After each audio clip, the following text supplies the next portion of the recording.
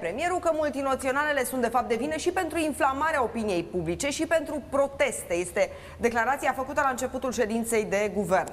Premierul a subliniat că marile companii străine vor să împiedice statul român să le impoziteze profitul realizat în țară. Opinia a fost susținută și de ministrul de finanțe Ionus Mișa, care spunea că tocmai această măsură e esența ordonanței de guvern care a stănit critici în ultima perioadă. Vă spun care este părerea mea și a unor dintre colegii mei despre inflamarea excesivă a opiniei publice. Nu este vorba despre trecerea contribuțiilor, acolo și sindicate și patronate care până mai de ună zi erau foarte în regulă cu trecerea contribuției, s-au inflamat după ce guvernul dorește să introducă niște măsuri foarte ferme în ceea ce privește externalizarea profitului. S-au inflamat niște multinaționale. Dar, din fericire, înțeleg că au înțeles că nu e cazul.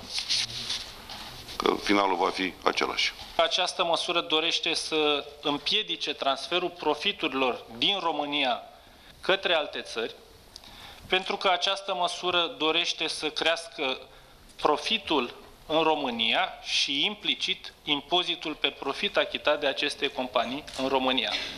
Deci este evident o măsură extrem de benefică mediului economic românesc, uh, bugetului de stat și implicit cetățenilor care vor beneficia prin creșterea uh, sumelor alocate și încasate la bugetul de stat de mai multe spitale, de mai multe autostrăzi. Sunt primul care a inițiat controle în sistemul bancar, ca director general la mari contribuabili, sunt primul care a inițiat controlele la companii multinaționale, sunt primul care a reușit cu o echipă de profesioniști să aducă sute de milioane de euro de la o singură companie în urma unui control fiscal și care a reușit să determine sistemul bancar din România, prin intermediul băncilor care activează în piață, să crească sumele declarate la plată către bugetul de stat. Am apreciat uh, cu ghilimele de rigoare